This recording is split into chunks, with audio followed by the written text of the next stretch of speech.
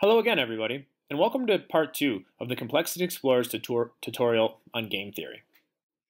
For those of you that don't know, in the first part of the tutorial, we learned the foundations of game theory. We learned about actions, strategies, players, and we learned about the Nash equilibrium solution concept and solved a variety of games. This set of videos is going to be slightly different than the first set of videos. In the first set of videos, we really homed in on one specific element of game theory, and namely the normal form game and Nash equilibrium. This set of videos is going to be more divided. We're kind of going to cover three different topics, I guess you can say. So the first thing we're going to cover is what is known as dynamic, or sometimes you hear them called sequential games.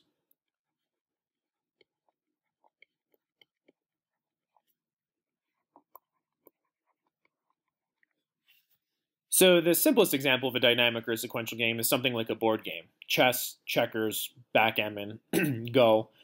One player moves, then the next player moves, and then one player moves, and then the next player moves, and so on. Of course, there are other real-world examples of sequential games. Uh, just one example, you can think of geopolitical games. Uh, if one country does something, then another country might see what that country did, and then choose their action based on what that country did in the first place. So you have country A acts and country B acts, and then country A responds to country B, and so on. So this would also be an example of a sequential game. In economics, we see sequential games in something like market entry. A firm decides to maybe enter a new market that another firm already has control of, and then the firm that previously had control of the market decides how to combat with the newly entered firm.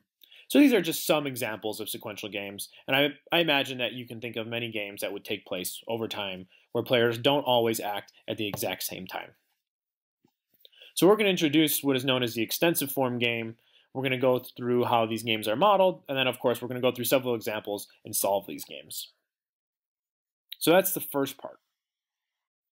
The second part of this tutorial, we're going to look at what is known as bounded rationality.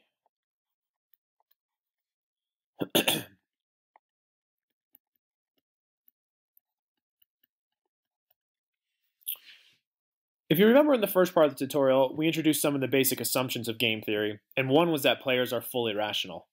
What this means is that players always know what's best for them, and they always choose that action. They never make a mistake.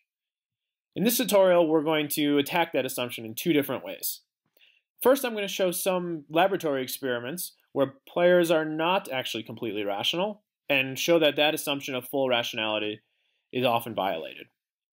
Then we're going to talk about what is known as the level K model of games, and this is just one way game theorists have started to think about bounded rationality.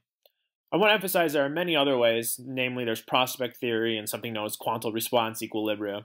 There are many ways that game theorists deal with bounded rationality. I'm just going to introduce one, and, and references to the others can be found in the bibliography section. So that's the second part of the tutorial. And finally, in the third part,